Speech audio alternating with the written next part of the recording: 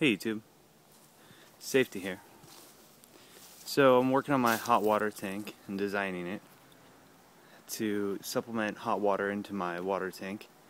And I want to update you on my situation, my ideas, and my dilemma. So we're looking at right here the place where I wanted to clear and build my box. It's about a five foot long, six foot long, two and a half feet deep, and you know I've got three or four feet about three feet to go up before I hit this window here. Now this would be an ideal location because of the sun or direction. As you can see from the shadow here it's um, about 11:30 morning sun has been here all morning. This front stoop gets to about 75 even on a day where it's about 60 uh, just from the sun hitting the cement. Yet with that being said because of all the cement I'd have to plumb under or over somehow because my hot water tank is inside my garage here.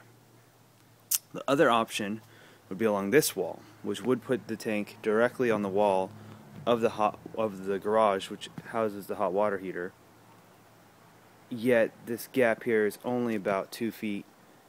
Um, I'm planning on growing an extreme amount of hops right here next season, and kind of messes with all my plans. It really isn't even viable with the size box I'd have to build in reality, a hot water tank inside my front yard really wouldn't work because of the fact that I live in a homeowners association and it's just a matter of time before they start complaining about the the tank and the fact that it may be an eyesore.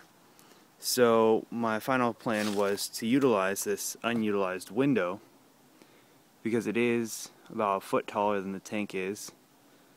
There's nothing but junk on the other side and if I used half of this window I could actually construct a box behind it house the tank vertically and insulate around it and with the, the box reaching hopefully about 175 degrees inside I might be able to supplement some of that air on the side of the box to heat the garage which I utilize as a workspace which would be nice because I'd save on electricity there as well only dilemma that I've faced now.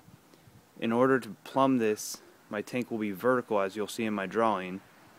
And I'm not quite sure if the hot water will have enough pressure to leave the top of the tank with the cold water coming in the bottom and make it hmm, about 20 feet, 25 feet roughly, to the hot water tank.